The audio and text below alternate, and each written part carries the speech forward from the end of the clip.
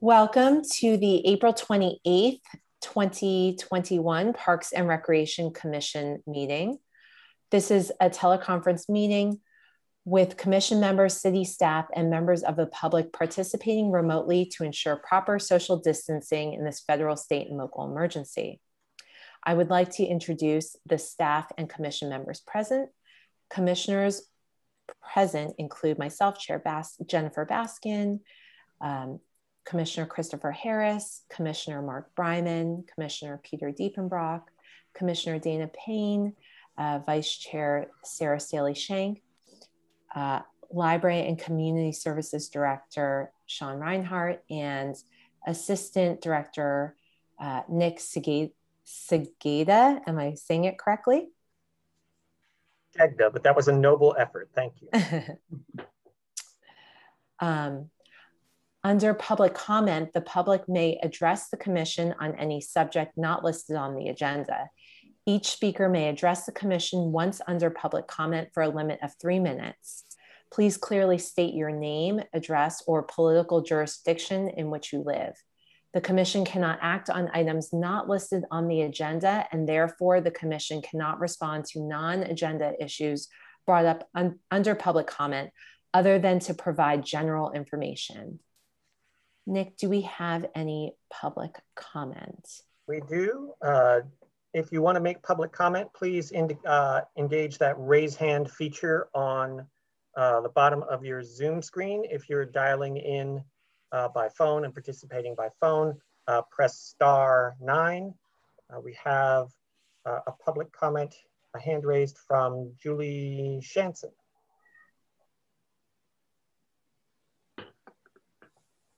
Go ahead, Julie. I'm gonna unmute myself. Did that work? Can you hear me now? We can. Excellent. So um, I want to apologize. Uh, I have multiple meetings scheduled this evening, so I am speaking about something that's on the agenda. But I wanted to thank the Parks and Recreation Commission for the work that they did on Carl E. Clark Park. Uh, Commissioner Harris, I really appreciate the photo that's behind you. It's lovely. Um, and uh, I like yours too, Commissioner Shank. Everybody else, you gotta you gotta pick up your game. No, I'm I'm talking that um, we have been.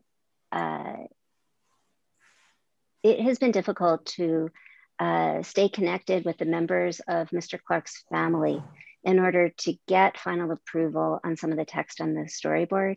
So I wanted to uh, just make that clear and ask for a little bit of your patience. The, uh, the design is wonderful, and we are just hoping that we could put some um, dates and captions on some of the photos. So uh, Nick, I, I left you a message about this today, and so hopefully we can connect offline, but I wanted to give the commission a heads up and I wanted to thank you, thank you all for all the work we did on this. It's been phenomenal having uh, being able to tell folks to go to the Carl Clark Park. Uh, there's a bus st station there. There's a bus stop there. Um, it's been excellent to have this resource in the neighborhood. So thank you. And also um, we are connecting with the family to make sure that everything's okay with them. And so wanted to ask for your patience. Thank you, Julie. Nick, do we have any other public comment? Um, Julie, did you have something else that you wanted to say? You've got your hand up again. Nope. I guess I need remedial okay. Zoom lessons. Thank you okay. all. Thank you very much, Commission. Good evening. Goodbye. No worries. Uh, again, if you would like to make co public comment on any item that's not on the agenda at this time, uh, please engage that raise hand feature uh, at the bottom of your Zoom screen, or if you're dialing in, uh, press star nine, which will raise your virtual hand. Well, I guess they're all virtual hands. And I don't see any other public comment. Okay. Well, then we can move on to uh, presentations. Uh, D1 will be the City Council Liaison Report. And we are very fortunate to have uh, Mayor Drew Combs um, attending here with a presentation and, and um, some time here spent with our commission. So thank you. Yes, and if I may, Madam Chair, I, I note that um, City Manager Starla Jerome Robinson also was in attendance, so we may we may want to bring her in as a panelist as as well. Oh, fantastic!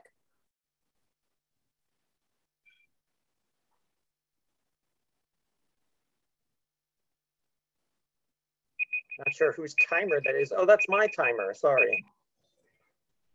Hey, th thanks, uh, Ch Chair Baskin, for, for the introduction. Should I just launch in or is, is that okay? That would be uh, great. Cool. Yeah, I, I think the uh, agendizing this as a presentation makes it seem a lot more formal than, than it is. But uh, but really happy to be the, uh, the, the city council liaison to the Parks and Rec Commission.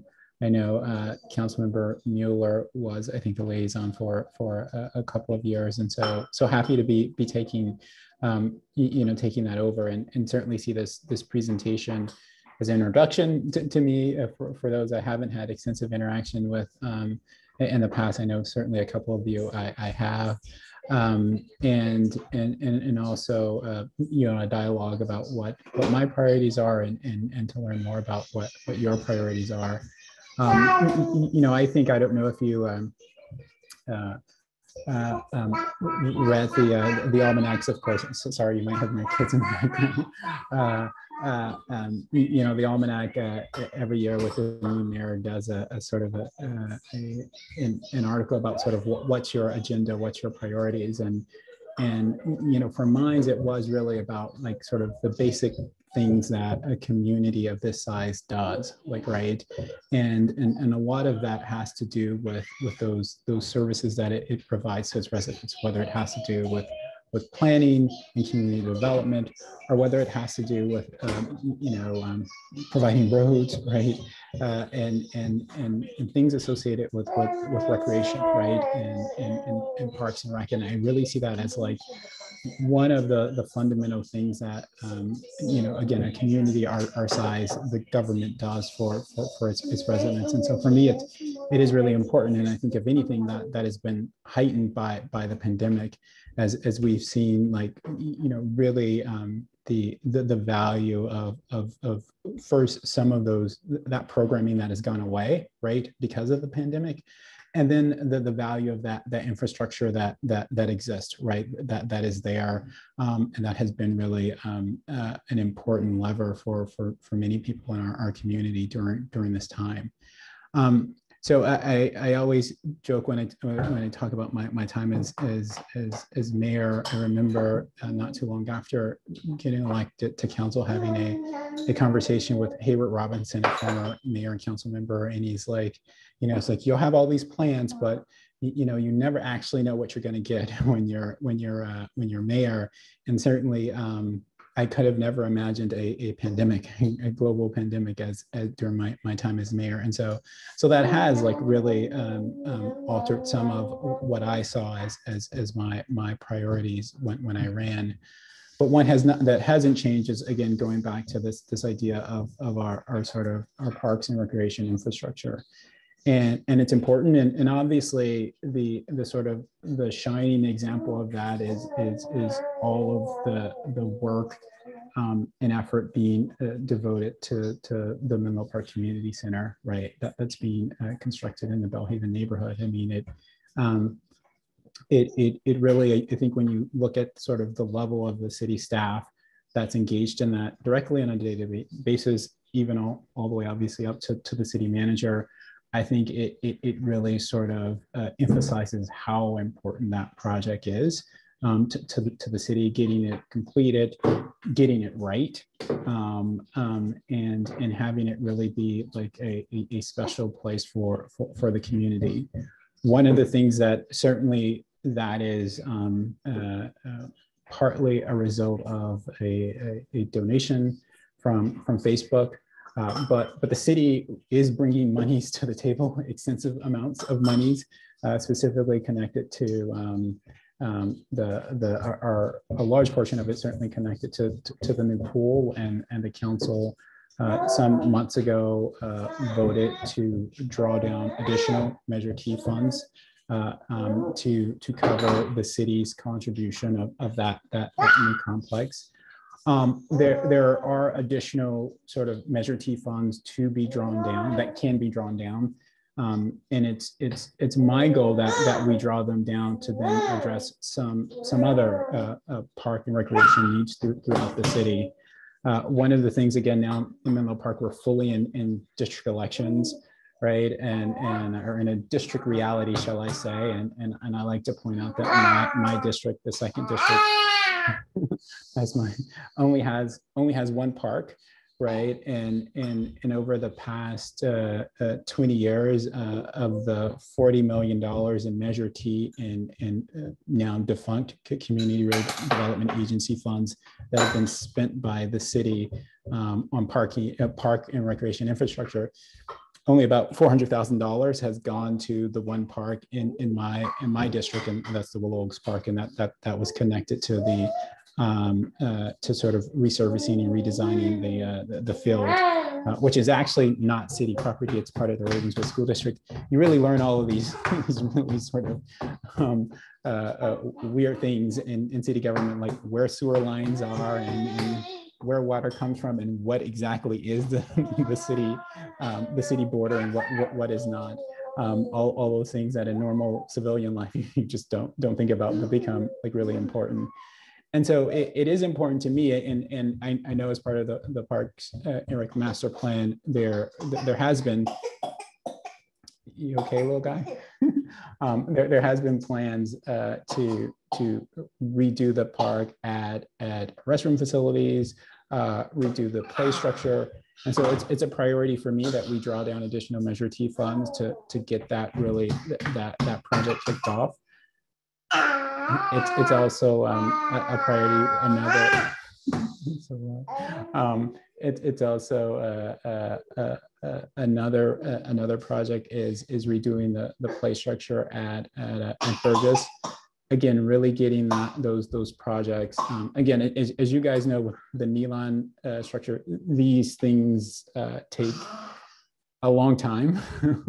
um, but uh, and, and, so um, and, and so I, certainly don't have any delusions that that this is something that's going to be turned around immediately but but I, I, really do want to to get a, a full commitment from a majority of, of, of the city council that, that these are priorities and, and really get the uh, uh, it lined up regarding the, the, funds that we'll, we'll need to to to uh, to get those completed. So that those uh, I, I, probably talked way too long, but that that's uh, for me, um, and, and, so that's why for me it's really exciting to be be the liaison to to the Parks and Rec uh, Commission. I, I think. I think in the the the years ahead, we're going to be doing really exciting things um, uh, when it comes to, like I say, our, our parks and rec infrastructure. And um, j- just sort of new. And and then again obviously um, going back to, to, to, the theme of, of the pandemic we will have some really sort of critical decisions to make about like when it comes to parks and rec what the city wants to do like what what it wants to prioritize as we come back. And are there some services where um, maybe it's not the, the, the most ideal scenario for, um, uh, for, for, for the city or for city staff to be, to be the front line in providing those services. Um, and I'm not trying to sort of predict where the city council is on that, but I do think again, like um, the pandemic provides us an opportunity to really have that discussion um, about like, uh, are we doing uh, when it comes to the services we provide, are are we are we the best to provide those those services? And in some cases the answer may be yes 100% we're, we're the best. But I, I think we have to be open to the discussion that that maybe in some cases we're we're not. And and so um, and, and so I, again like i said i think that'll be an important part of the discussion um, in, in, in the months ahead. So with that i am again happy to to to, to provide for further uh, um, you know um, you know, further information or answer any questions you may have. my son will answer any questions too. Thank you. I'm sure the commission um, has some questions. I, I, guess at this point, um, I will open it up to public comment if there is any public comment on this um, item. or for Mayor Combs? You have a comment you'd like to make, please engage that raise hand function at the bottom of your screen, or if you're dialing in by phone, please press star nine so that uh, we can see you and recognize you. Do not see any public comment. Um, well, thanks again, um, Mayor Combs. I guess uh, one question I had um, is kind of just around it, it's a bit more about the um, community engagement and um, the feeling of like one Menlo Park, which we've always been striving to achieve through what we've done in terms of accessibility and sustainability and um, making sure that we're maintaining and you know bringing satisfaction to all parts of menlo park. But what kind of struck me and of course this is a result of the pandemic and what's been going on is kind of our, our downtown area seemed really sort of depressed and we see a lot of vacancies and we just don't see people kind of collaborating. Uh, you know I'm, I'm really happy about what the restaurants have done out there and kind of the use of the um, street space there, but just kind of wondering, are there any plans to kind of, you know, work with either public or private partnerships to sort of make that downtown revived again um, through the reopening process? Yeah, so I, I, I think um, um, that's obviously an observation that that that that we've all all made. I, I mean, um, you, know, downtown has had uh, there have certainly been some bright spots, but there certainly have been some challenges, and in in many respects, it it's been um, sort of exacerbated by by the pandemic. And, and there, there are, are just lots of, you know, sort of just really fundamental and, and structural challenges there. Um, uh, one, again, a, a, number of the properties are, are, held by family trusts, right, and and and uh, are, are, paying sort of reduced property taxes, and so so there isn't as much that pressure um, to really sort of monetize or exploit those uh, those properties for um, uh, uh, uh you know for what could be their, their, their highest sort of market value, and and so we have had scenarios where again. Um, um uh, retail space have been on, on the market for for a long time. In some cases, it's it's because like I, having had those discussions, it's, it's, it's the landowner is, is, asking like an outrageous sum of money, and and and is in a position too, right? Because maybe there's no mortgage and there's no sort of very immediate pressure to to sort of turn that around, uh, and and so and so so that that has been um, I, I think a, a challenge certainly part of the, the downtown specific plan was to sort of really uh, spark um, um, uh, you, you, know revitalization of Santa Cruz and, and El Camino and we certainly have seen that with regards to, to, to El Camino we haven't seen it as much with with with Santa Cruz again part of it goes to, to, to um, uh, partly uh, like I said, the ownership of the properties. P partly, I do think that again, there have been challenges in relation to the parking, right, and the redevelopment and, and, and, and the parking that's required and, and how you deliver the parking. And that certainly is something I, I think that like will, will be will be on, on the table in, in the future as, as, as we look for different levers we can pull. Um, and, and so and so that that's sort of kind of the, the business development kind of angle. And and and I know and, and I know the city manager can talk to this. We, we maybe haven't had that sort of business development expertise muscle in the city government as we've had in in the past but I, I know that the plan is to is to to bring that expertise back. So you really do have someone that's on the ground promoting the city to, to businesses um, um, specifically to, to, to, retail businesses. And, and, and so the hope is that that that, that will will, um, will will be a key part of part of the change and then the other issue is just the aesthetics, right? I mean, it definitely kind of has like a 1970s film at its response with the, and I know that that's something that that uh, Council Member Mueller has really taken on um, as as one of his priorities, right? To really sort of engage and look at ways in which um, we can can make certain tweaks that to, to really sort of um, makes some of the hardscape elements of, of downtown look look nicer and, and maybe in, in ways and, and again, like Menlo Park, we, we sort of love our public engagement. It has lots of value. Um, it, it is a, a long and drawn out and tiring process. And so, and so sometimes I, I think that, um, you know, I, I, think, think one of the things certainly that, that Councilmember Mueller is, is focused on are some of these small tweaks like that we can do, right? That, that maybe, you know, not that, again, public engagement is not important, it is very important, but but certainly some things that that we can do that isn't going to that, that won't sort of spark this this massive sort of process right? Um, that that then um, becomes a life on its own and and and and and you know again and and then and three or four years later it's actually sort of delivering. And so but but all to say that like yeah i mean it, it, it is it is a concern and, and it is a priority. And, and hopefully like i said we are we are going to be sort of you know taking these small steps to to to to address it. And and happy if, if there's anything that the city manager wants to, to, to add on that point. Well I, I think i'll just throw in there that it it's both a professional and personal uh, goal for me. I we have brought in some community development, uh, economic development expertise, but I think we need more than what we've got right now. So we're we're working on a couple of market analysis uh, projects to determine what type of retail or what type of business would be successful downtown. I mean, it's not just the pandemic; it is that retail and what's important to people in the downtown area has changed remarkably in the last 10 years. And so we really have two challenges, or at least two.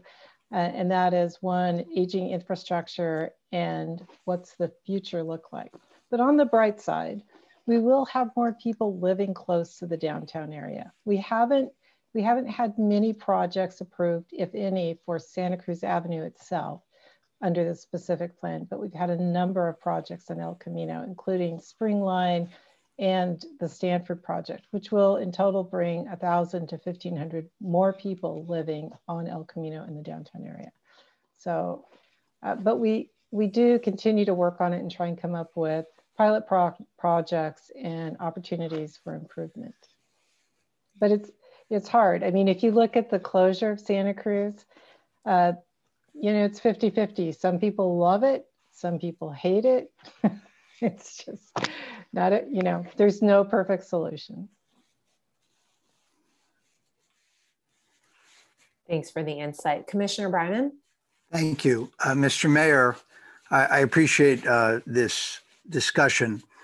I will say this, that with respect to uh, Santa Cruz Avenue in particular, yes, there are any number of important things that we have to consider, including public comment and private ownership and all that sort of stuff. But with respect to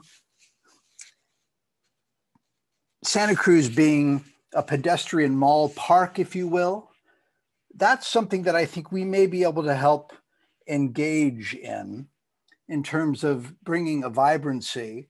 I also think that the city, we've been talking about this for a long time, if the city provides a central infrastructure parking space so that we can do that kind of a thing, it's kind of a win-win. So there are some, in my mind, basic fundamentals that we as a city can do to create, not just wait for, you know what I mean? It's a chicken or an egg kind of a thing that by showing some leadership, we we position it in such a way that it it has to go there. Yeah, th thanks. And and again, thank you, Commissioner Bryman, for, for, for that point. Um, um, so there, there's two things. Again, um, I, I, know that that Santa Cruz is a pedestrian mall has has been much debated, and and and it will probably be debated, to be honest with you, long after I'm on city council. And that is back to the city manager's point. It's about 50-50. You know, at the beginning of the pandemic, we we did close Santa Cruz down completely.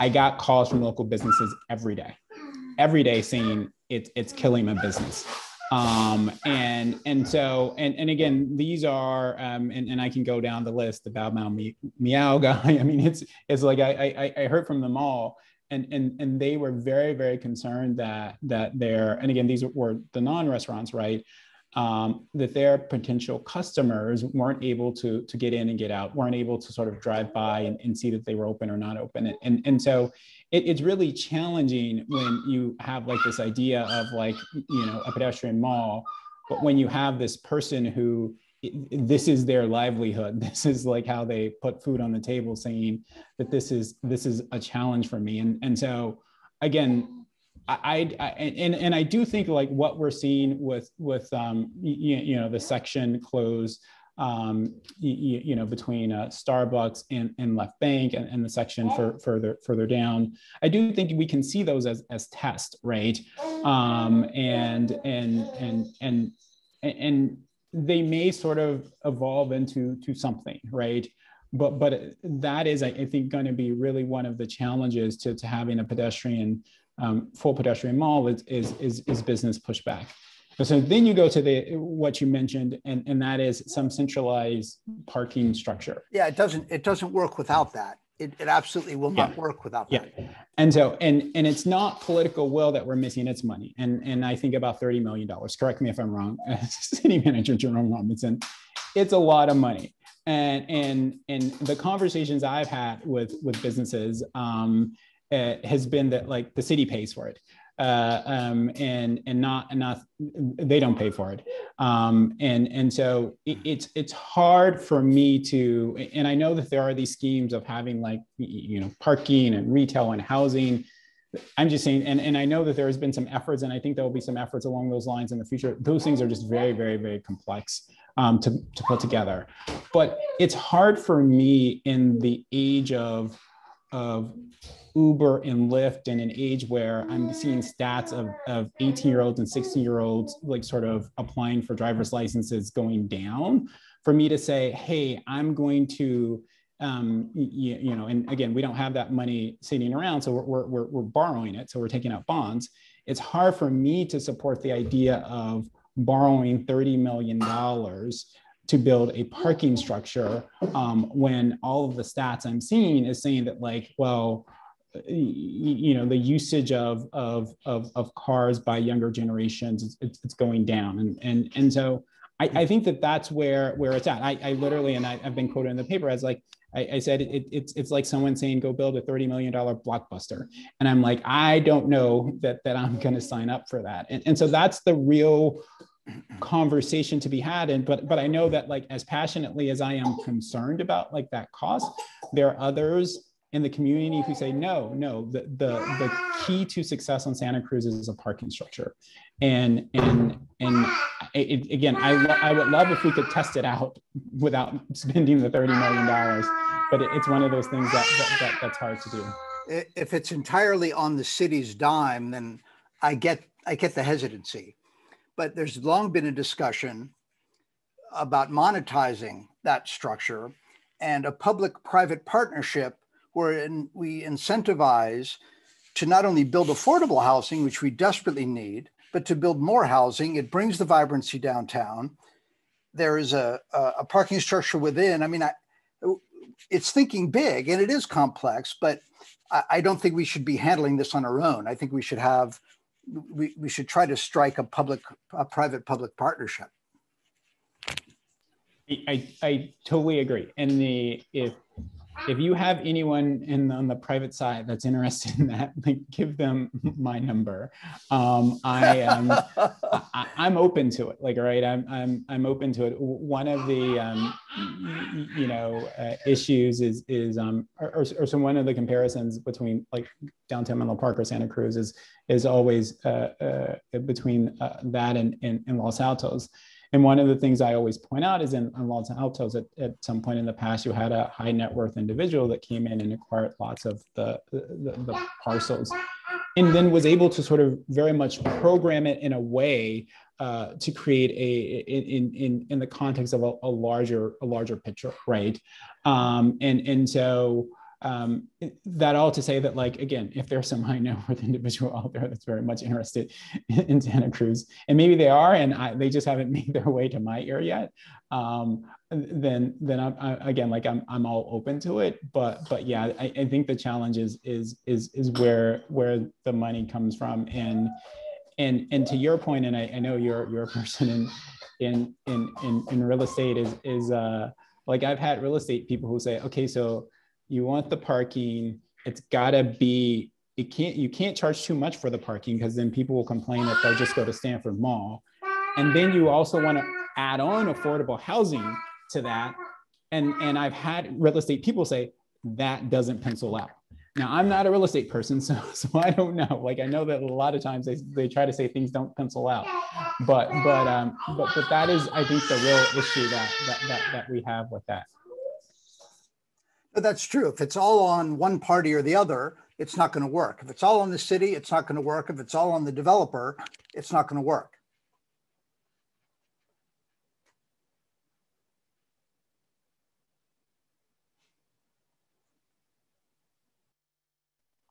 Does anyone else have um, any comments for Mayor Combs?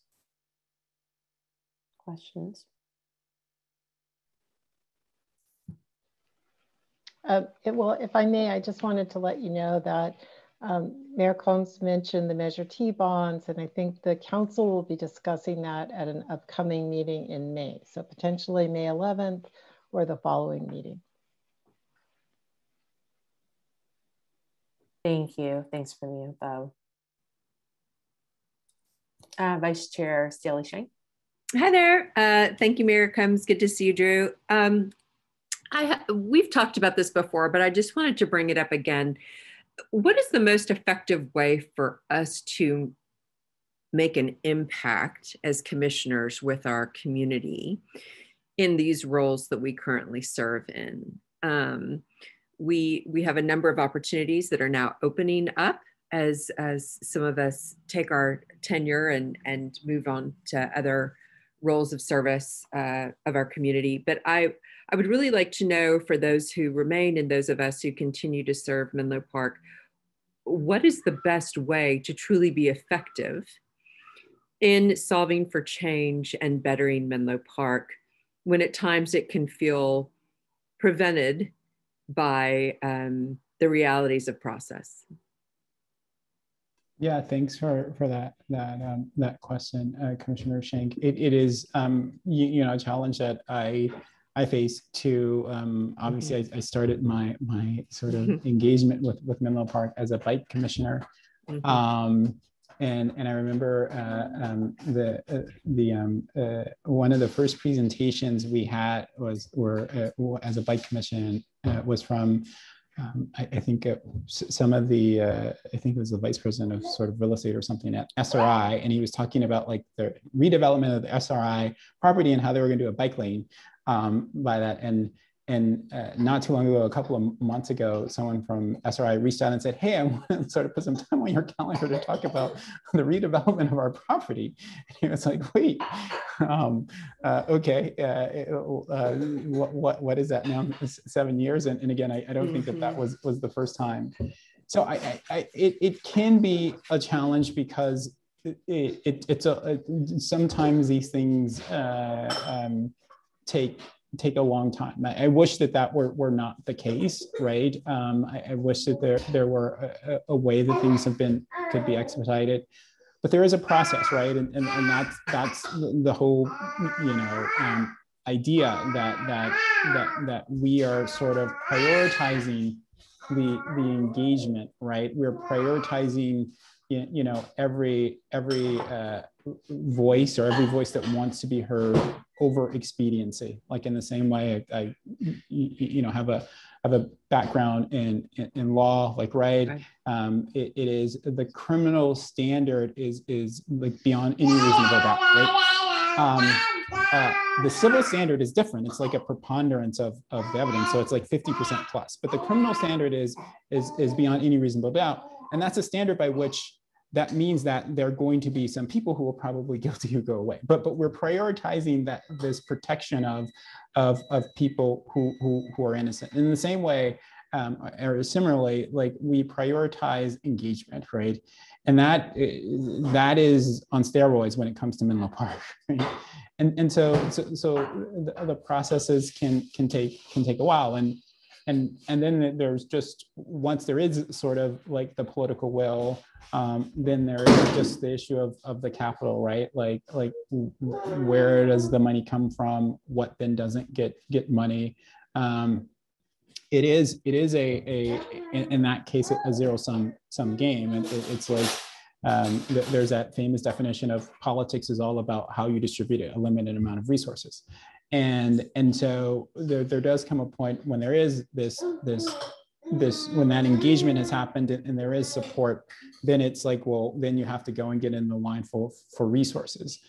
And so i would say that like just sort of um, uh, plug away and and know though that that like there there there's like uh, th- there is value to that that that engagement. There is value to that that perspective uh, but but it will come with some frustration. And and sometimes it is just like focusing on on one thing right? And i even on, on, on council on my, my discussions with with um, with the city manager it's like i used to always tell people you, you know just three three things just focus on three things three things since you know being on city council i'm like just one thing just find the one thing that you're really passionate about and, and, and keep focusing on it and i know that like I, I think that this this commission has had seen some success um, um, in, in, that, uh, in, in, you know, a, a similar approach. I, I, think if you, you think about, for instance, the, the play structure at Nealon, right?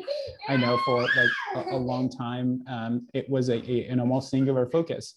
Uh, of, of, a lot of people on this commission, and, and and that's probably what it took. And even still, that was something that that took very long. And and and based on every time I go there, it's clearly it's something that is without a doubt completely successful. Right? Has I'm sure there are some detractors, but no detractors that that I've I've seen, and even something like that, right? Still took took uh, um, a, a, lot of time. So again, I would say though that like you know find one thing and and and just sort of keep plugging away on it and, and understand that like um, you know there is real value to your your your involvement. Um, and and and again the, the same frustrations again like you you face um, I face at the, on, on, the city council level. Can, I can tell you going from a commission to city council, it doesn't change. Like, right, it's not like then it's like the keys of the kingdom get opened and then like everything you want to get done gets done. Um, that, that, that's, I, I, again, I have to, to sort of like use these, the same sort of strategy and approach again, like when it comes to, to, to you know, my engagement on, on, on, on city council. Hopefully, hopefully that was helpful.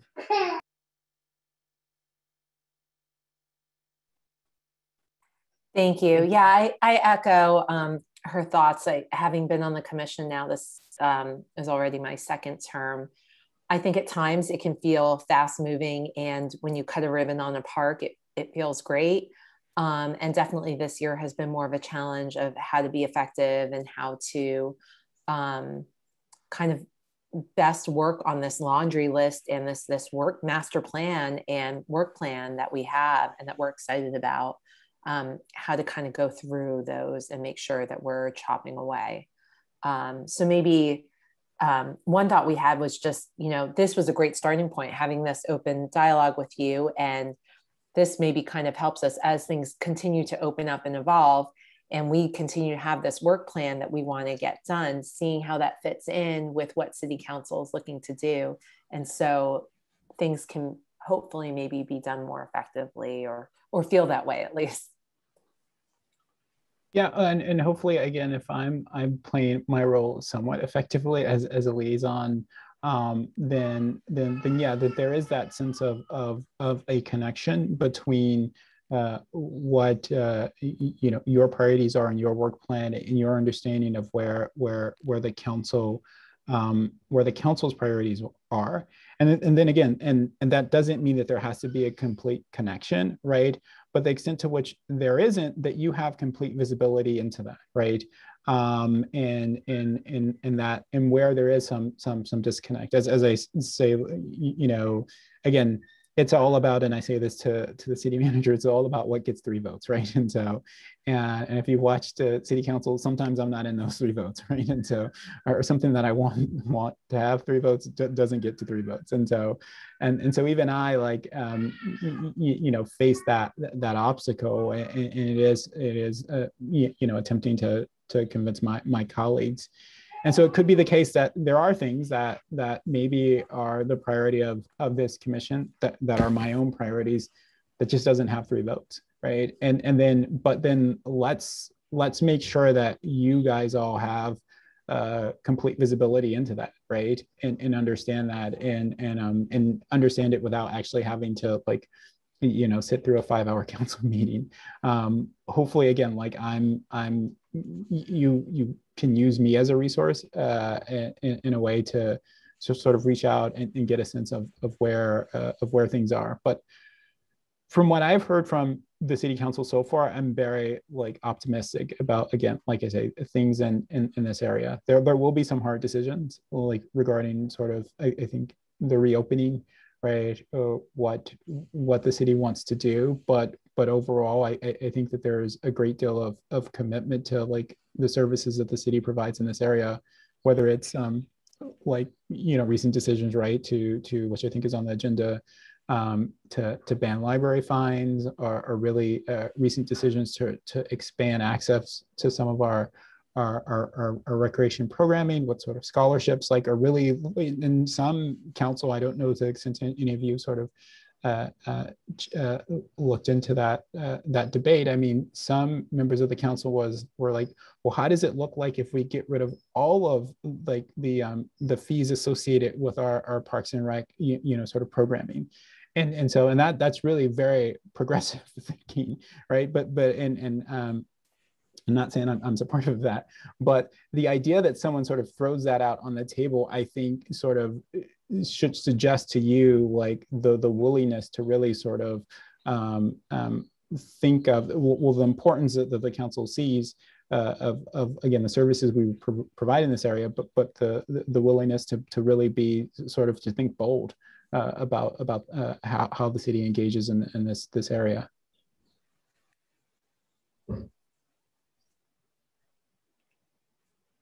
Thanks again for your um, commitment. Does anyone else have any comments or questions for Mayor Combs?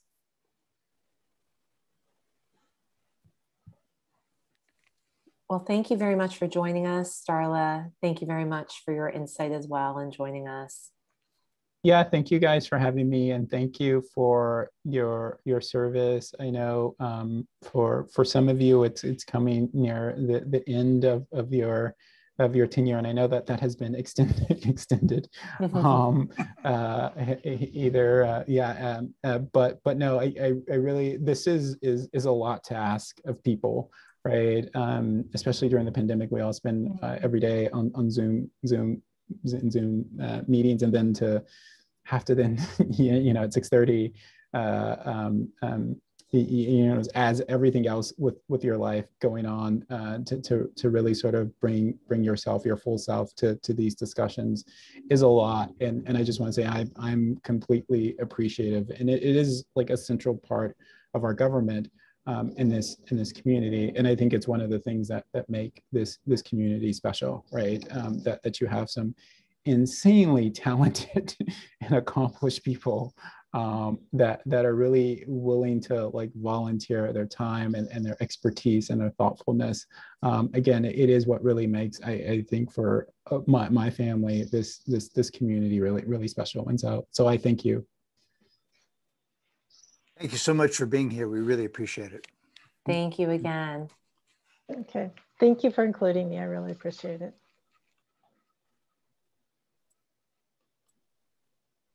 Uh, so uh, moving on to regular business, we are looking to um, accept the Parks and Recreation Commission meeting minutes for the meeting of March 24th, 2021. Attachment was there to review.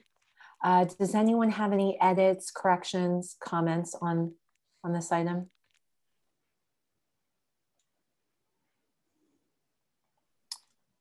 I don't see any. Um, and so at this point, um, may I have a motion to uh, approve the minutes of the March 24th, 2021 meeting? Move to approve the minutes. Thank you. And may I have a second? I'll second that. Thank you, Mark. So that is approved and accepted. And then under E2, regular business, we have expanding public access to oh, facilities. hang on, I'm sorry, Chair oh. Baskin, oh. can you hang on just a second? Oh, sure. We do need to do the, the roll call vote. So oh, I'm a, sorry. It's okay. we had a, we had a, um, a motion by Vice Chair Staley Schenk, mm -hmm. seconded by Commissioner Bryan. So I'll just go around and call your other names. And if you could just uh, tell me yes or no, aye or nay. Uh, Commissioner Payne, Yes. Commissioner Diepenbrock, Yes. Commissioner Harris, Yes. and Chair Baskin. Yes, The motion passes unanimously. thank, Thank you. Thank you for the reminder, Nick. I got ahead of myself. I'm so excited with no uh, edits to that. Uh, so moving along, we have expanding public access to facilities, programs, and services. Very excited. Yes, thank you, Madam Chair, and good evening, Commissioners. I'm going to walk you through a presentation that's very much um, similar to a presentation that was made to the City Council last night. Um, uh, this is a topic that has, you know, been subject of discussion for a couple of months now, uh, but the City Council uh, did have the opportunity to uh, to review this and weigh in. So uh, here we go. We're talking about the phase-in and sequencing for safely and sustainably public uh, expanding public access to um, city facilities. Let's see if I can get my PowerPoint to work here. A little bit of background. Uh, this has been in process for a couple of months now. Um, the City Council has received published reports on the topic of expanding services to further indoor public access. Um, all of those have been conveyed to the uh, commission, uh, typically as informational items, but also there'd been some discussion in past meetings on March 9th. Um, the City Council received reports on uh, some objective criteria to guide the facility reopenings on April 6th. Um, also, um, some additional discussion on that same topic and a little more detail about what the reactivations might look like. Then on April 13th, as the Commission is aware, uh, a more in-depth look at um, what um, library and community services facility program and event reactivation might entail, the phasing, some of the challenges, uh, financial staffing, uh, safety and otherwise. And then um, last night, uh, reviewed this proposed phase-in sequence for expanding public access. And um, all the links in that presentation just lead to those reports just for, uh, for the public uh, convenience. Um, it's noted that the city has continued to provide services during the pandemic uh, in modified formats. The police department has been operating 24 seven. The city's public works department has continued to operate the water utility, do street landscape facility maintenance. As you know, city-owned outdoor parklands have been uh, open and accessible with some limitations like social distancing and masks uh, throughout the pandemic, essentially, and key resources actually during the shelter in places in particular. The senior center nutrition program pivoted to home delivery within a week after the pandemic, uh, the first shelter in place, and continues to do that and does wellness checks by telephone with those um, older adults. And as you know, the child cares, after school cares, aquatic centers, skate park, tennis courts, athletic fields opened in mid 2020, again with some limitations, um, and as well the city hall permit counter. Uh, the library curbside pickup opened at the same time in mid 2020. It's been operating ever since. Uh, recreation classes, community events, outdoor, virtual since the fall, and those have been continuing. Uh, City-owned playgrounds opened in fall of 2020, as you know. And then uh, a number of the sort of the more back of the house type departments in the city have been operating mostly remote. It's community development that was subject earlier discussing with the mayor, the city manager's office, administrative services, finance, IT, those kind of things uh, have been ongoing throughout um, the pandemic. So we've uh, been quite busy, but now we're really talking about key considerations for safely and, and sustainably expanding um, that access to include indoor public access to facilities. Um, just mentioned that the services are operating in modified formats. A key to note that due to the economic downturn, there were substantial budget reductions and staffing reductions. The city does not have the operational capacity to expand all facilities and services at once. That really needs to be something that's phased in if it is to be done safely and sustainably within the resources that we have. Uh, we're looking forward to it and we're very excited about it, but we're just being realistic about like what's achievable. Um, uh, great news is that most customers or users and all city employees are now eligible for vaccination, at least adults 16 up. And um, However, vaccine access and there's some vaccine hesitancy. Those continue to pose some challenges. Uh, definitely want to keep an eye on that.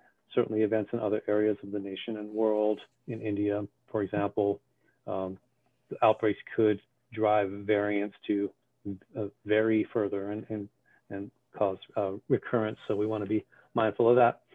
Um, the city council um, is kind of on the threshold of beginning the budget development process for the new fiscal year, which starts July 1st. So that's kind of a key element of all of this is just the budget and staffing um, to ramp services uh, back up, uh, hopefully, ideally, and to expand that access. And certainly public health guidance um, continues to change, continues to evolve. It's um, generally on the path of, of relaxing in a responsible way. Uh, you probably all heard the reports that um, outdoor um, masks are, are not required for fully vaccinated individuals in most situations and anticipate more of those kind of relaxations as we make our way out of the pandemic. And notably, the, the governor announced that all things continue to go well, then June 15th, the color tier system would be retired. So that's, that's like a key date on our radar. So talking about the prioritization and a phase in sequence, establishing that now, which the city council reviewed last night and, and generally uh, had assent with, uh, had some comments, feedback, concerns, all really great, as did some members of the public. But generally speaking, um, uh, sort of had assent with the, with the sequence presented. And that provides the, the council, advisory bodies like the commission, staff and the public, clear and realistic expectations for when city services may be safely expanded. So, you know, having a plan just really helps everybody be on the same page and, and know what we're expecting. Uh, the minimum lead time needed to expand access to facilities is eight to 10 weeks, just because of the level of modifications, staffing, investment that is involved.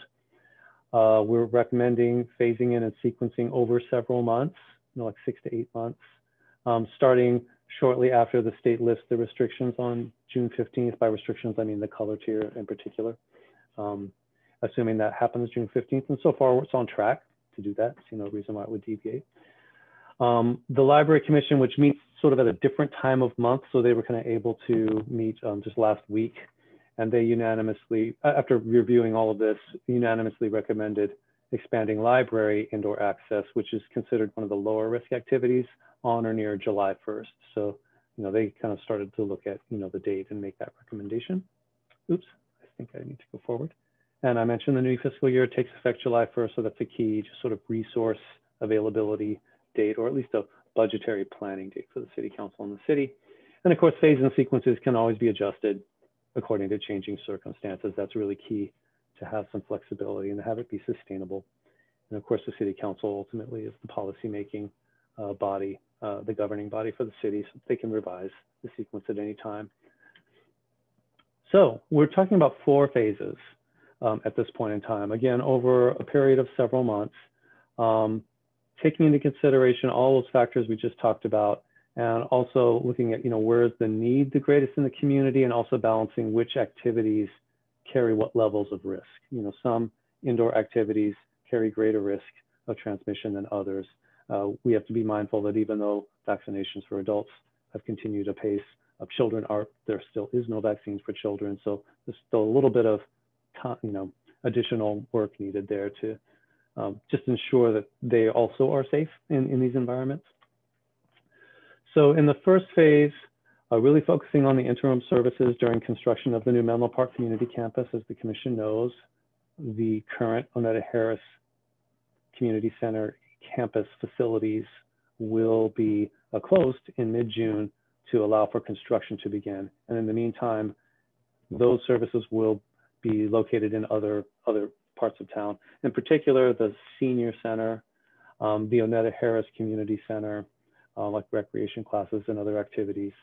Um, and looking at potentially the Neighborhood Services Center, which is um, on Willow Road near um, Newbridge, um, which is currently a police substation, but looking at these various spaces and making sure that they are available at some point in phase one. And again, with phase one occurring sometime in the probably beginning of July, end of June timeframe when the restrictions change. So focusing on those, also the lower risk public services that are currently operating in, in modified formats. So um, that would be indoor public access to the libraries, pretty low impact activities, plenty of opportunity for social distancing and kind of no need for a lot of close contact. Um, um, with the weather being what it is, um, continuing with outdoor recreation classes and really expanding those uh, to the greatest extent possible in the first phase. Again, these are things that are kind of already operating. We just need to tweak them a bit, expand them a little bit. So that's phase one. Oh, and also the police department lobby. Um, phase two, uh, you know, month or two into this whole sequence, toward the latter part of summer, second half of summer, um, beginning some of the moderate risk indoor community services programs that might that would happen in like a recreation center or a gymnasium, for example, focusing on those programs targeted to children and youth first um, because of the need there, and they have fewer options as far as you know their own personal mobility and resources to seek private sector alternatives. And then moving into programs targeted to the general population. And some of the lower impact programs, because there is more respiration that occurs, you know, in, in these sort of indoor people exerting themselves.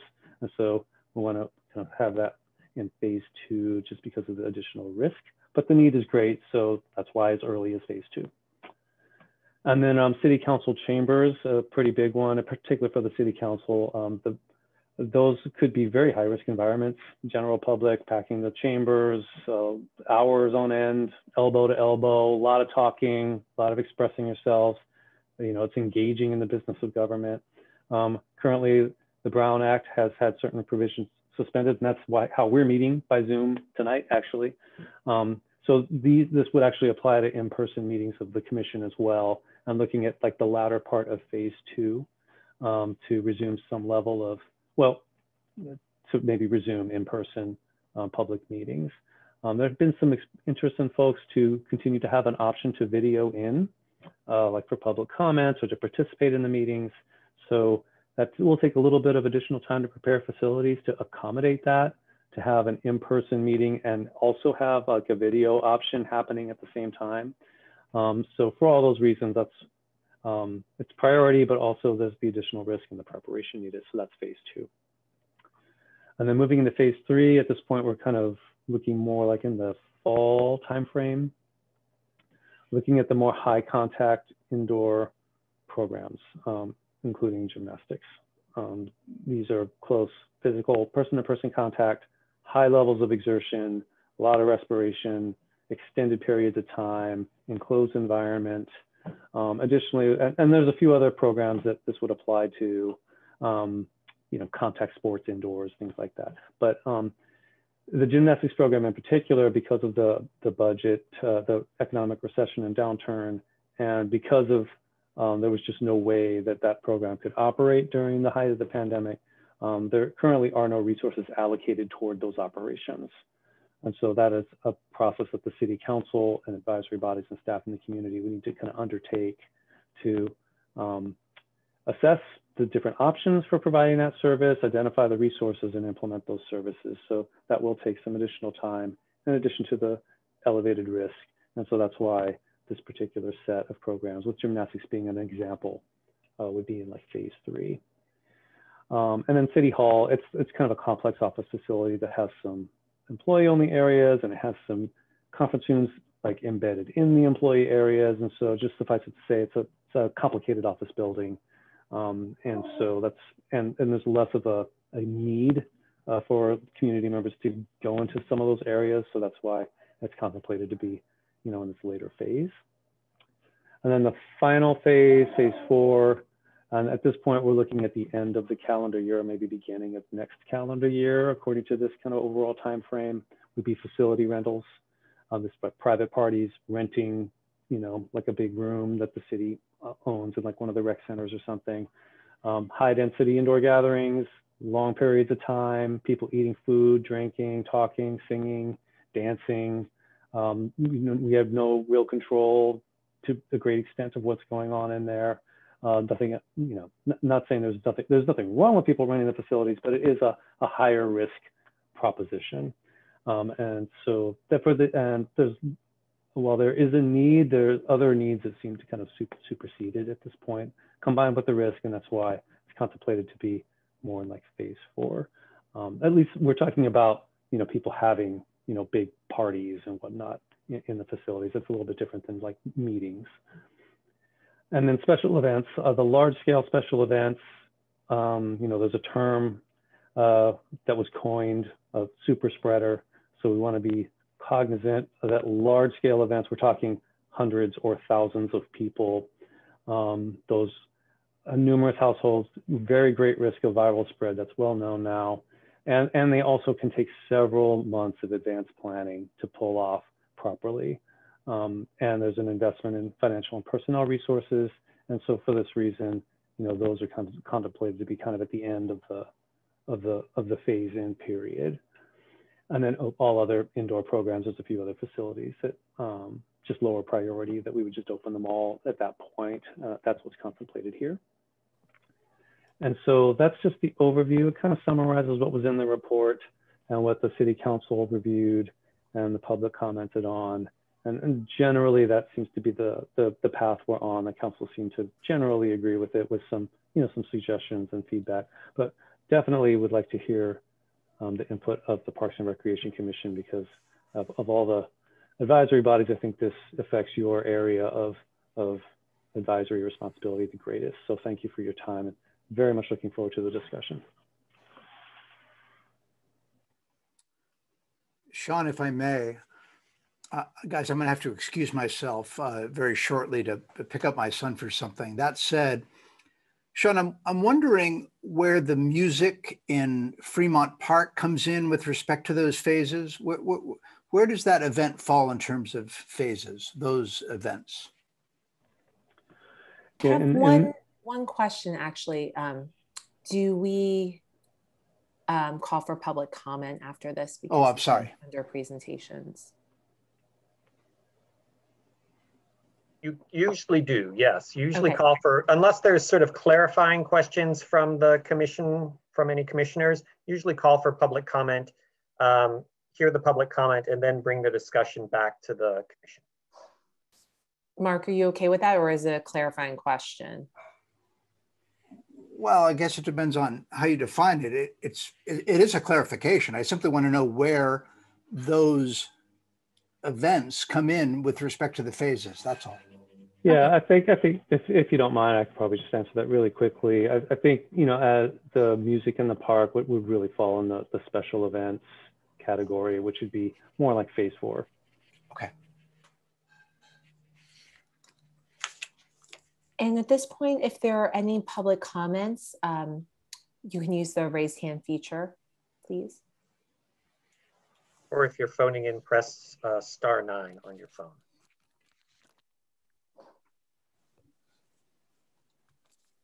To see, I don't see any public comments on the site.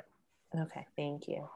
Um, so sorry for, uh, does anyone else have any questions for uh, Director Reinhart?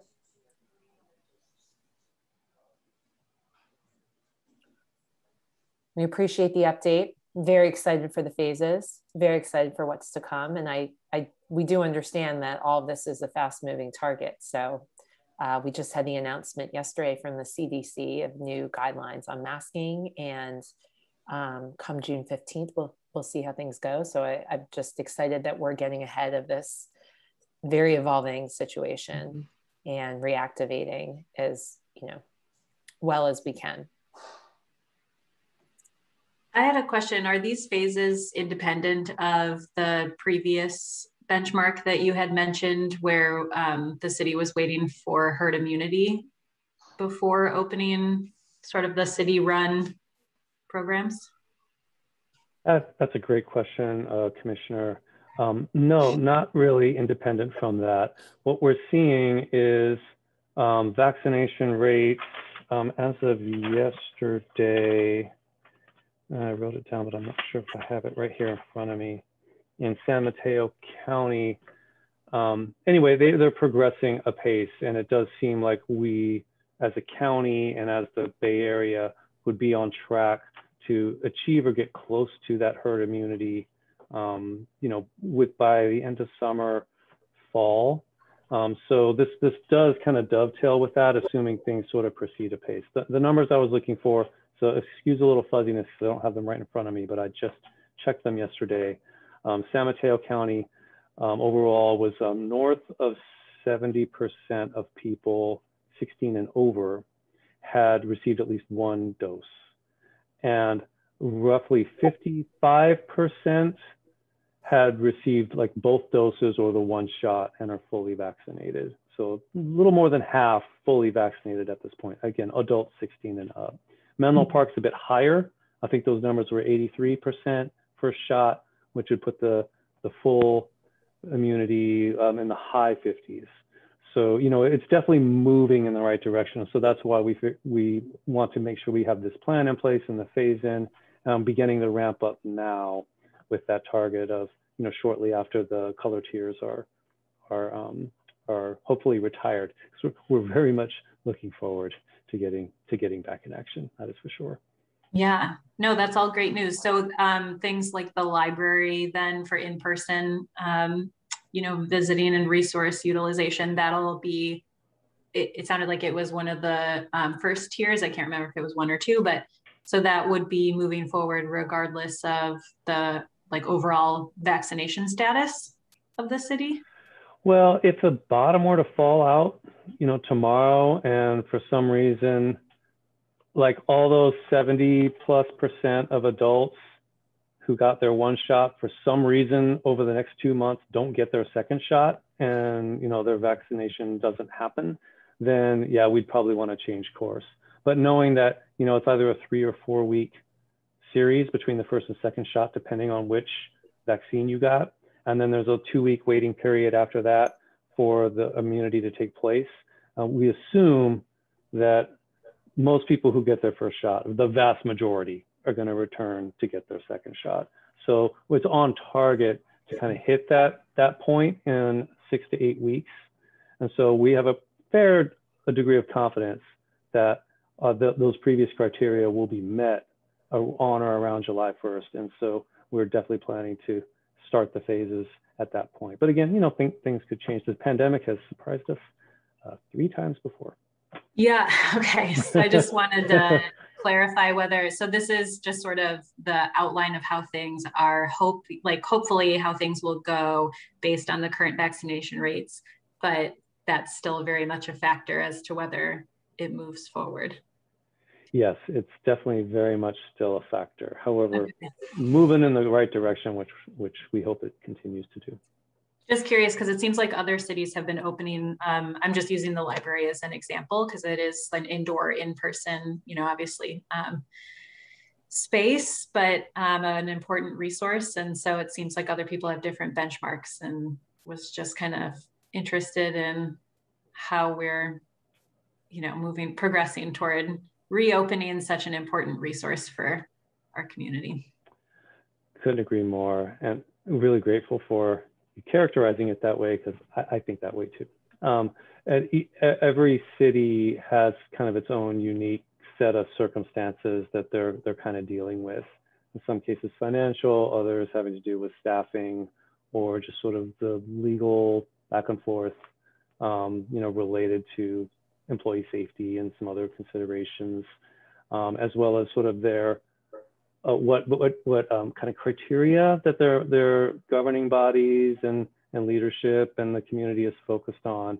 And I think you know one thing about Menlo Park that makes it re- it really is a special and standout community in, in, San Mateo County for sure, and I would say also in all of Silicon Valley um, for all the reasons that you know the mayor mentioned earlier, and um, also just the financial um, factors are, just kind of unique, I think, in Menlo Park, just like how substantial the um, uh, economic downturn kind of affected our, our, capacity. So there's a number of things that just sort of make each city kind of unique. Uh, we're kind of moving along with the pack. We're certainly not at the front, uh, but we certainly won't be lagging too far behind the, the front runners either. Uh, and our focus has really primarily been on safety. Okay, thank you. Thank you.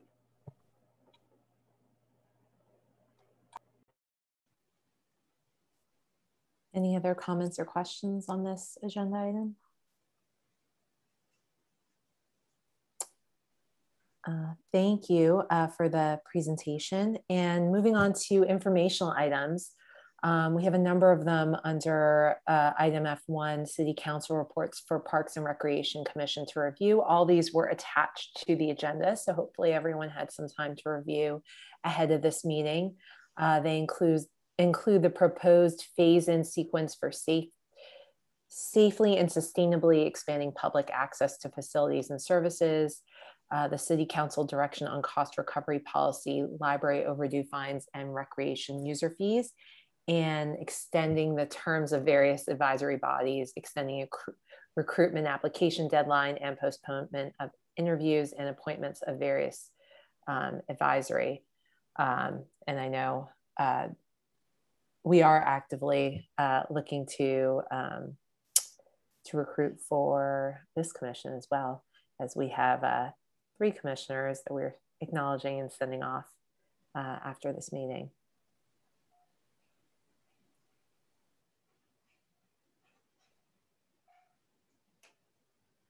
I, guess at this point, does anyone have any questions or comments on those informational items? I mean, now that we have staff present, if there's anything um, that needs clarifying.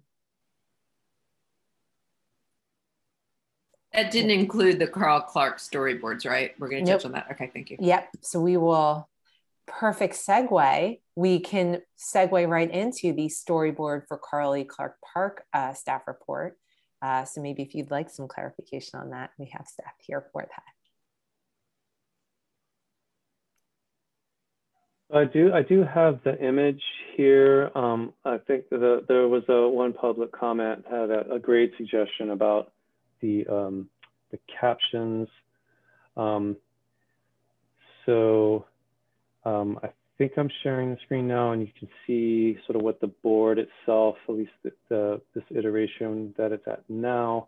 It's my understanding that um, uh, Adrian, the the former Assistant Community Services Director, was working closely with uh, members of the Menlo Park Historical Association and I believe um, Belle Haven Action. Uh, I'm not sure exactly who from that group she was in contact with to kind of develop out the content here. Um, I was glad to hear that there's some additional attempts to outreach to the Clark family, just to kind of get their um, sort of a blessing uh, for this because this is about their family member who's being honored here, uh, rightfully so. Um, so, but the captions does make a lot of sense. We can go back to the drawing board on that and, and connect with the family. I, I, would think through Belle Haven Action. Um, and I know that the Historical Association had um, uh, mentioned that they were hoping to do like an unveiling June 19th. So uh, that does seem very much achievable. Um, although uh, depending to some extent, like how how quickly the the changes can be made, like confirmed any changes and and make those changes. So we'll, we'll certainly circle back with the uh, folks from the Historical Association and Belle Haven Action who had been kind of leading this element of the project and uh, just kind of confirm with them, uh, you know, the, the design. And then the other element I wanted to just share with the commission is a potential location of, for the board. So um, uh, let me see here. Here is Carl E. Clark Park. I've just got kind of like a Google map going here. Um, so you should be seeing like a satellite view of, of Carl E. Clark Park. So let me see if I can just sort of toggle it to look a little fancy here. So the, the monument sign right out there that, that I think was in the background of Commissioner Harris's um, Zoom there is kind of right there. And, you know, this is sort of the front of the park right here, as you know.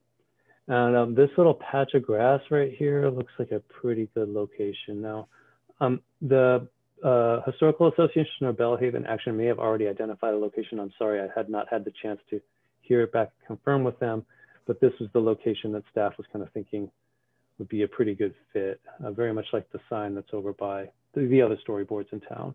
Close to the sidewalk, little setback, plenty of area for people to gather around, keeps this grassy portion open to function as a park for kicking a ball around with kids and stuff, but it's right there. So, so that's kind of what we were thinking. Um, but um, definitely happy to hear uh, input from the Parks and Rec Commission um, to, to be, you know, just carried back to the Historical Association and Belle Haven Action, who really are kind of driving the project.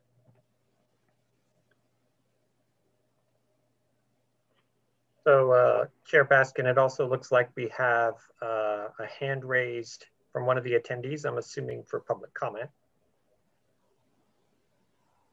Uh, fantastic. So we can um, normally take public comment after this time, right?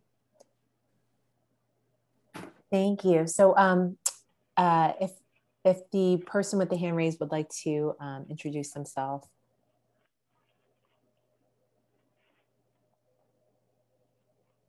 Hello.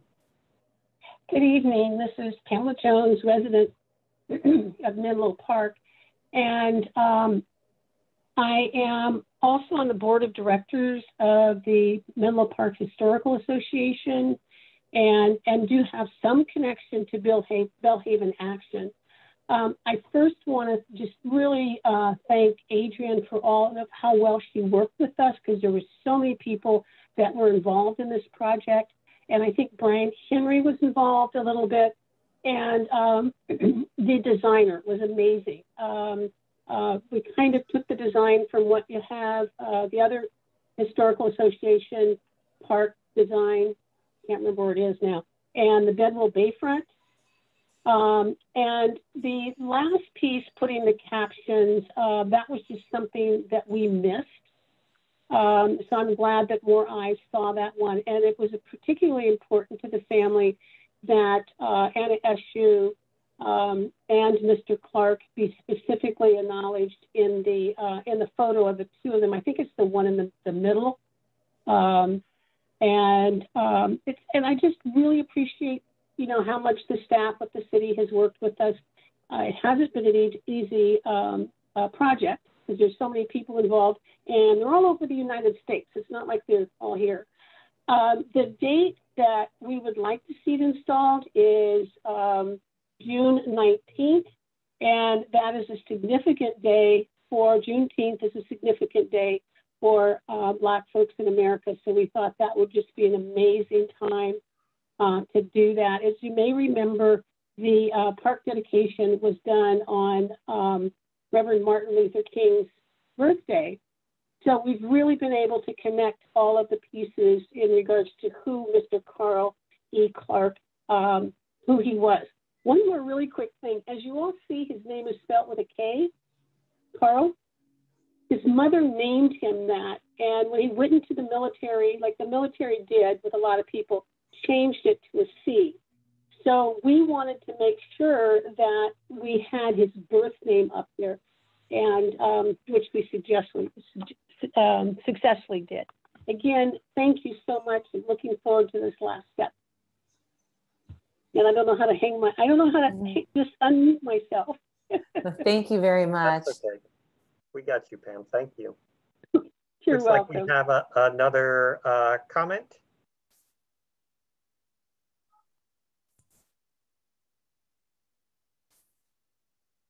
Thank you. Uh, this is Cecilia Taylor. Um, as you all know, I am on the Menlo Park City Council. I am also founder of Belle Haven Action and this has been, um, it actually, I can say a long time coming, um, but considering all the things that have happened in the past four years, the time has moved by pretty quickly. Um, and I just want to say thank you. Um, the idea came to me when I was at Mr. Clark's funeral um, in March of 2017. And the process that the city already had laid out um, to be able to name a park that didn't have a name um, went by fairly smoothly. And the fact that I was able to um, bring in our youth and our seniors um, and just community members all throughout Menlo Park, um, I still remember the dedication and the process works if you use it and also, and if you're inclusive, um, this is extremely exciting. I, I, wish all of his family still lived in the area so that they could be here. Um, and so I know that if it is happening in June, I would definitely invite all of them. Um, but I just want to say thank you to everybody who made this possible. Um, and I look forward to June 19th if that's the date you choose. Thank you. Thank you for your comments and joining us, Councilmember Taylor. I do remember that um, the evening um, that we did discuss it and was one of my most favorite um, Parks and Recreation Commission meetings. Probably my most favorite. Commissioner Harris?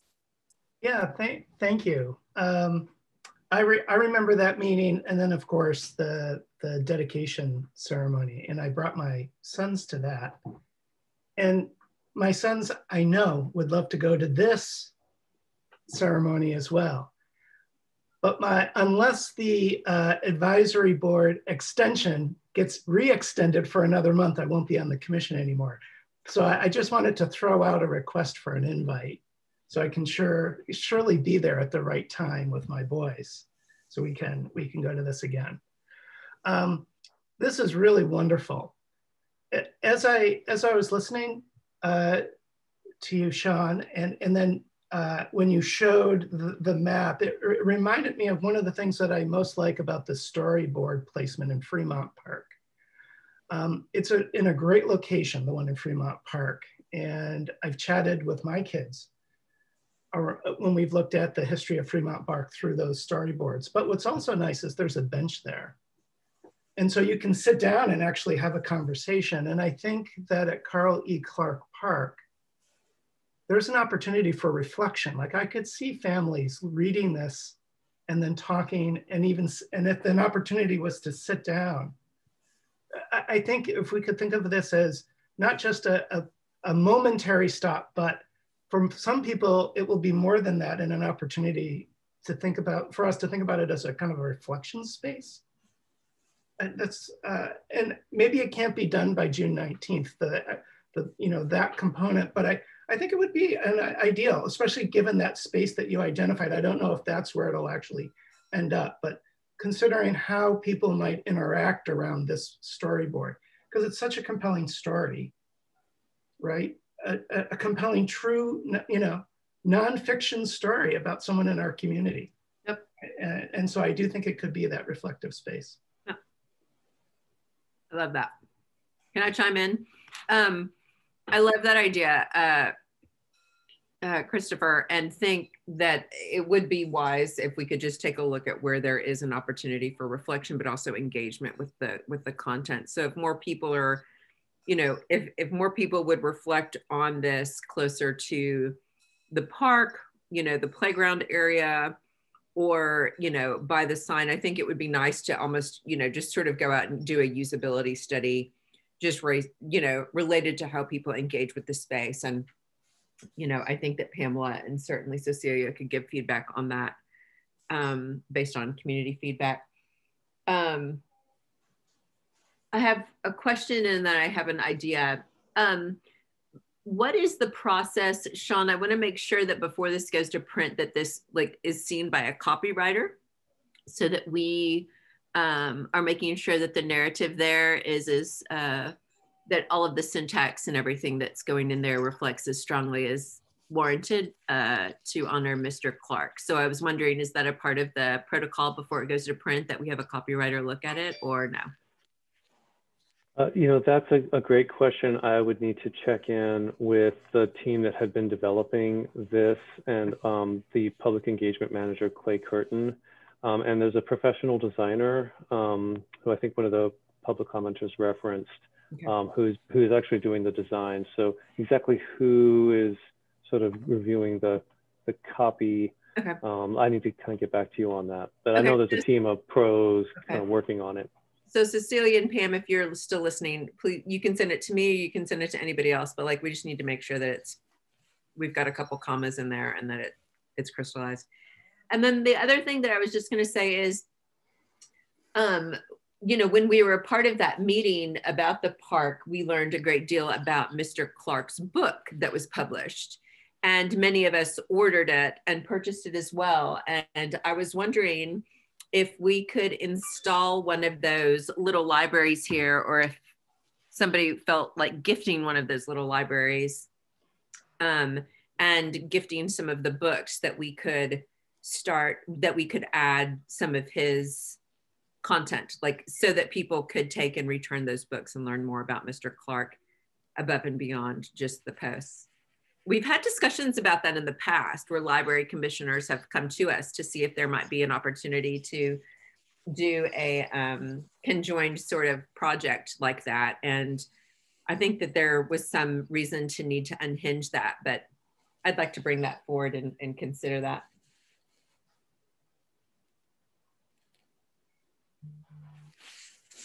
I think that's a great idea as well. Kind of continues on the sort of, we talk about marketing and just Mm. what we're doing that helps get the word out. And I mean, this is an exciting new thing. So, So whether that's something that we do as an extension of the commission or the Parks and Rec um, investment in this moment, or even if it's personal, just I hope somebody will take me up on that if I can be of help with that too, because I just think that that would be a really wonderful addition to uh, the, the, the storyline and the importance of this part. It's a really unique opportunity.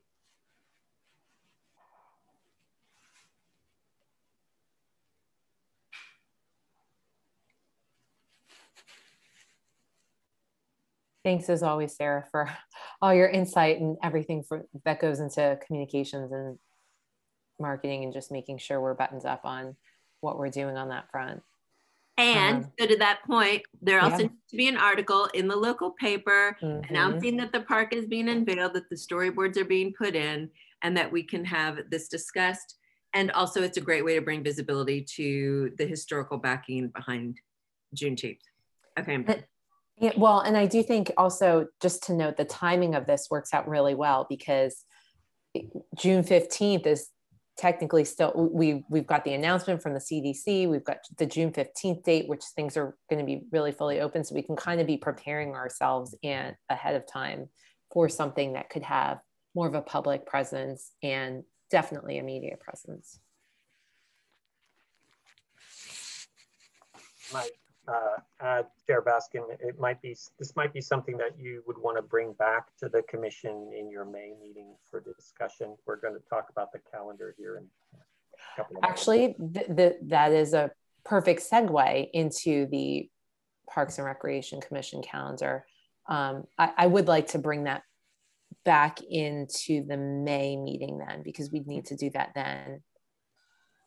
That sounds great. Um, it's such a great uh, input and discussion, and I think uh, what's also nice is that uh, representatives from the Historical Association and Belle Haven Action are in the in the gallery, in the audience, uh, to Mhm. kind of hear that. Um, I know that they've uh, been very deep into the planning for um, the uh, you know the unveiling event, and certainly they are the, the leads on, on this whole project. So um, you know we will support um, them in, in making the event really great. And I think some really excellent ideas have been brought up here for them to consider.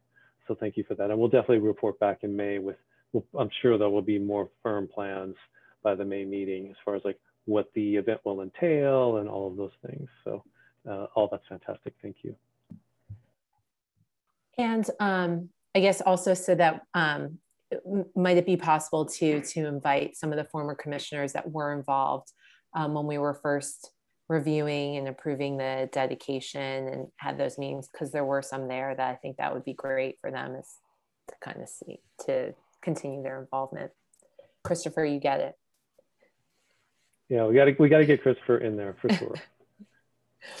Maybe we'll Mary definitely do that. We'll definitely make sure that those invitations go out. That being said, um, also on the calendar, I noticed Commissioner's report, Jennifer Johnson is for June.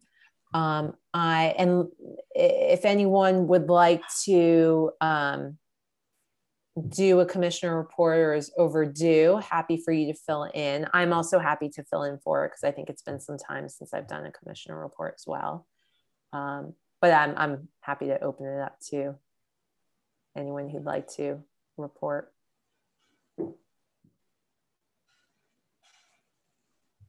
Well, I guess I'll take it as a placeholder unless we get someone new ahead of them. And does anyone else have any um, sort of amendments or thoughts on the calendar, at least the upcoming May meeting? I think it's it's quite hard. Some of these unscheduled future events, I think we're just waiting to see a lot of these we place down there just to see what um, updates we may or may not have from staff and city council. Um, so we didn't want to put anything there that was preempting those meetings or those info sessions.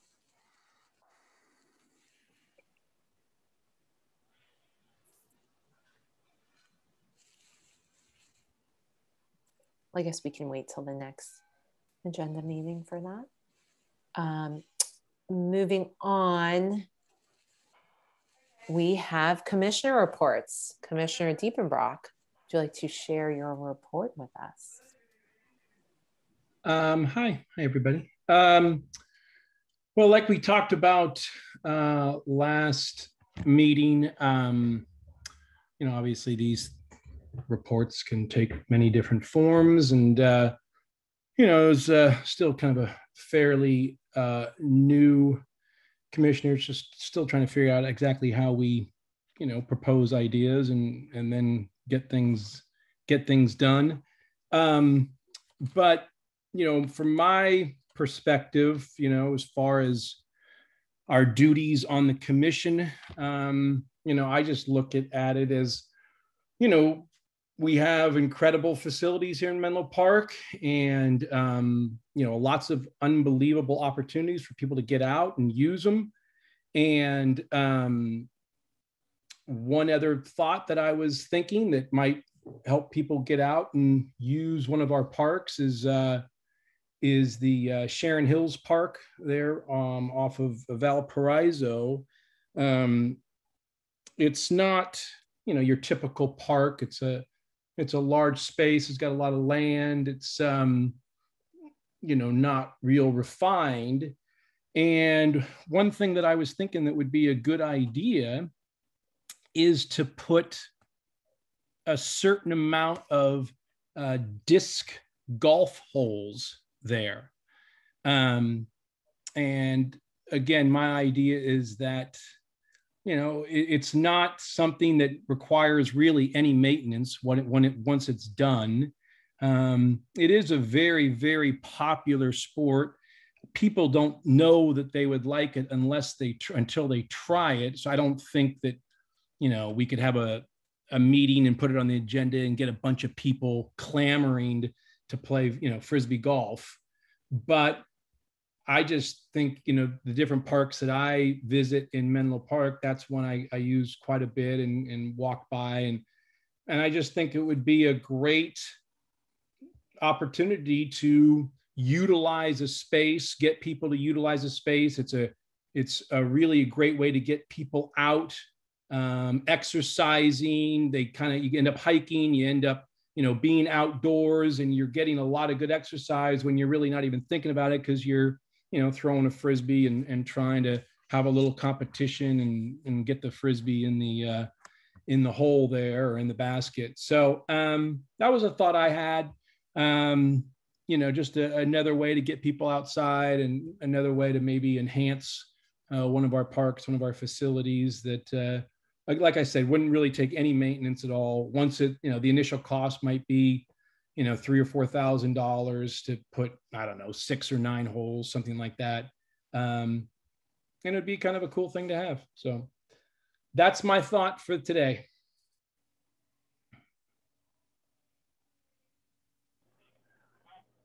Uh, Madam Chair, if I may. Mm -hmm. Uh, Commissioner Diepenbrock, thank you very much for that report and for the suggestion. And it makes me uh, think that perhaps on the tentative agenda, maybe under unscheduled, uh, we could bring forward sort of a report on the uh, Bedwell Bayfront uh, Park Master Plan. And there has been some activity there related to the, the, the marshlands. Um, so it seems like, I'm not sure when's the last time the commission received kind of an update on the Bedwell Bayfront Park Master Plan, but this kind of prompts um, that maybe uh, one one would be good to have in the next uh, in an upcoming meeting. So if if it meets the agreement of of the commission, we we can park that on unscheduled items and try to get it on the calendar in the next agenda planning meeting with the chair. That that makes sense. That would be great. And I I guess um, I, I like where I do appreciate. I, always appreciate um, Peter your viewpoints um, because you always do bring about. I mean, I know you're a big fan of pickleball and this disc golf, and just um, bringing about things that are healthy and athletic, and using our space outside, which I think is really important. Um, so, I guess just for for my education and for the rest of us, Peter brings forth an idea, and I, you know, we haven't taken a park tour in well over a year, definitely because of the environment um, how would we go about kind of assessing what something like that would cost and take and need so that we could discuss it and maybe something like that could um, could come through? Like what would what would it take? Uh, certainly the first step would be agendizing it, uh, just, you know, for like Brown Act purposes, um, so that you can kind of have the discussion where there had been, you know, public notice, uh, you know, in advance per the provisions of the Brown Act. So I think that would be the first step. Um, from a staff perspective, I would certainly recommend reviewing like the existing uh, master plan. That, that's why I made the mm -hmm. suggestion because you know there mm -hmm. is kind of a document there, and then certainly the commission, you know, your role is to advise uh, the city council uh, on matters kind of related to, to parks and recreation. So you certainly, it's certainly within your wheelhouse to kind of look at some of these issues. You know, uh, oftentimes it's if, if the council directs or asks the commission to do it, but um, certainly things can arise just from, you know, community members or commissioners who, you know, see that, hey, maybe there's a need here. Can we kind of bring this up and, and, and discuss it? So um, I think that that's the, the process generally, and it would start with agendizing the item. Mm-hmm. Thank you, Jennifer. Thanks. So I think so. So saying putting back the master plan kind of update and refreshment discussion would then lead us into how can we incorporate an idea like this into the plan and yeah, I would say I would say that's the typical okay. governance process, you know, for for an advisory board. You know, ultimately, the city council or deciders on on, on matters mm-hmm. related to city resources like that. But that that's the process that would typically take. Okay, so that's helpful then for my understanding, so that you know if it makes sense to just put that in unscheduled, and if we have the um, right time in May to kind of review that, then this way. Um, we can kind of have the discussion and put it in there. Because I, I, for one, definitely need a refresher on where we stand with things, especially if we're going to be able to reactivate a lot of things in June. Also, when you mentioned tours, I was uh, also another thing to look forward to. we haven't back. had one in yeah. probably since July of 2019. I think yeah. we normally would do wow. them in July. Mm-hmm. Um, so that was the last one. So another thing probably when it we could schedule again. Well, thank you, Peter. Um, so it, it, with a heavy heart, I have to acknowledge our outgoing commissioners, Christopher, Sarah, and Jennifer Johnson, who um, resigned in, in earlier this month. But we absolutely appreciate all that you've done for us and your efforts and your personalities and your charisma. I don't think it's going to be the same without you. And I'd say that there are some very big shoes to fill, and we're not exactly sure who's filling them yet. So, not to mention your backgrounds. Yes. What am I going to do with these backgrounds? we we can provide those. We can provide those. Just let us know if you want us to send them around. That's very please easy. do. Please, I think please do. keep them up. Would either of you like to say anything uh, as your last outgoing meeting? Christopher? Well, I, I spoke at the last meeting, probably too much, uh, and, and reflected quite a, quite a bit. And um, I think uh, the only thing I could I could really add is just uh, it was a pleasure to serve to to serve two terms, it was a surprise to get an email that with a little bit of an extension added added in.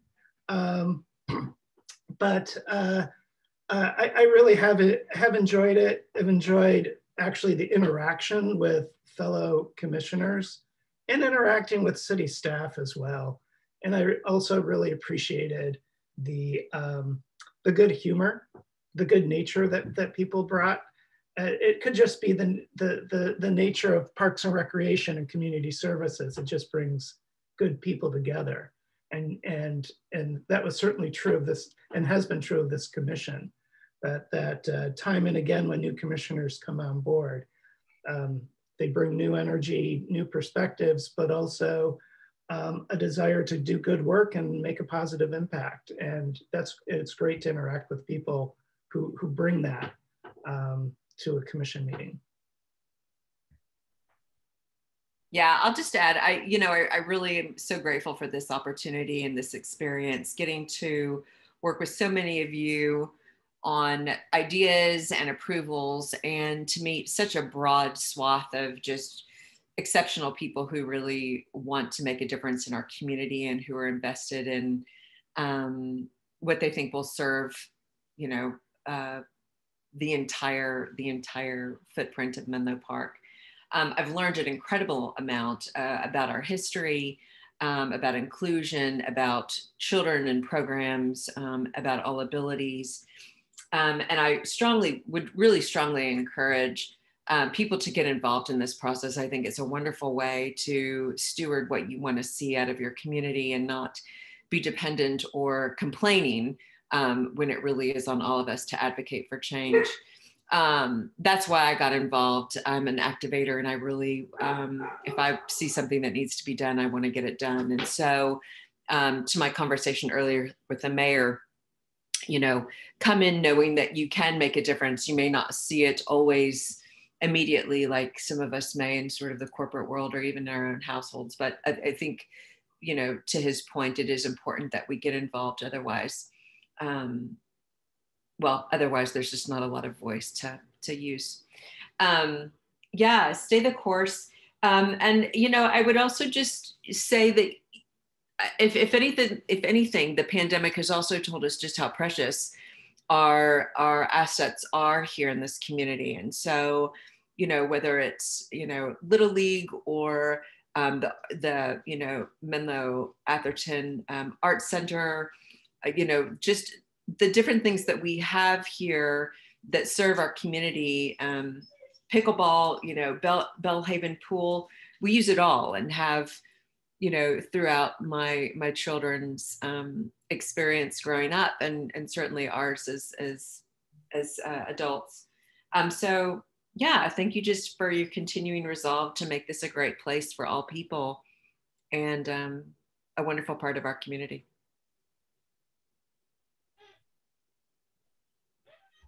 Well, and I both. will be learning to play pickleball. I promise you, Peter, I will be following up. we do a pickleball up. reunion. Yeah, we'll have a re- like I don't know what we're gonna do. I don't know what I'm going to do without talking about it every couple of weeks. So I, I assure you, I will be following up. How about this? If the program becomes a formal place, it has yeah. a formal home here in Menlo Park, Mm-hmm. It will mm-hmm. truly deserve a ribbon cutting and a reunion of this. no, the ribbon cutting awesome. I want to go to is for the bathroom at Willows Park. That's the ribbon cutting that I want to go to. It'll be a roll of toilet paper. it will Thank be perfect. Let, let's not aim too high now. well, thank you again. We appreciate it. Um, we really, really appreciate you all. Uh, uh, thank you. Thanks for, for putting this on the agenda and bringing some closure for, for Sarah and I. And Jennifer for oh, and Jennifer too for all of your efforts. She this will it's recorded, so there you go. Thank you very much. Uh, so at we can adjourn the meeting here at eight eighteen. I'm sorry, Chair Baskin. It looks like oh, there's sorry. a member of the public who has their hand raised. Oh. Maybe make a comment on the uh, outgoing oh. to the outgoing. Oh, fantastic.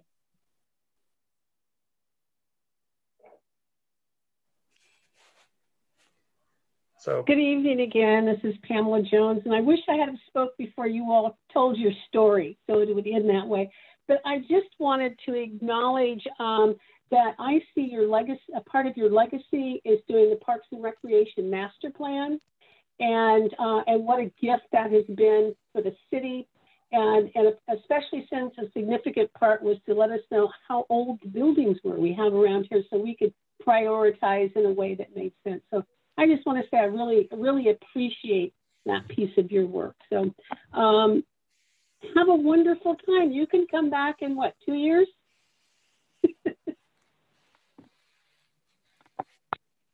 Thanks for alerting us to, to that. Thank you very much. I'm sure they're just going to be yeah. It's always been working. It working with Pamela and Cecilia and the entire team has been just delightful. It's really wonderful.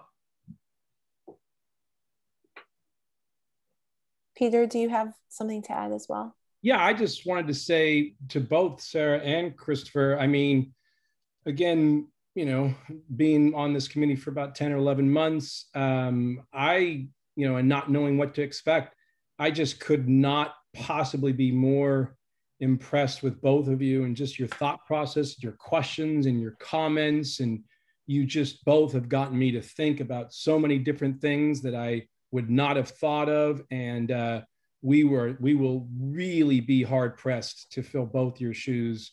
Really appreciate uh, your passion and, and all that both of you have done. I've, I've learned a lot from both of you. So I, I really appreciate it. I really appreciate it. Yeah. I'll second that. It's been tremendous guidance from both of you. Thanks. Yeah. Thanks, Peter. Thanks, Mark. Absolutely agree. Yeah, you guys will certainly be missed. Thanks, Dan.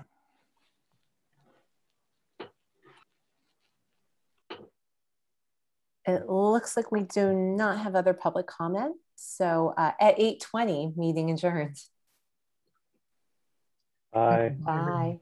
Thank you, everyone. Thanks, everybody.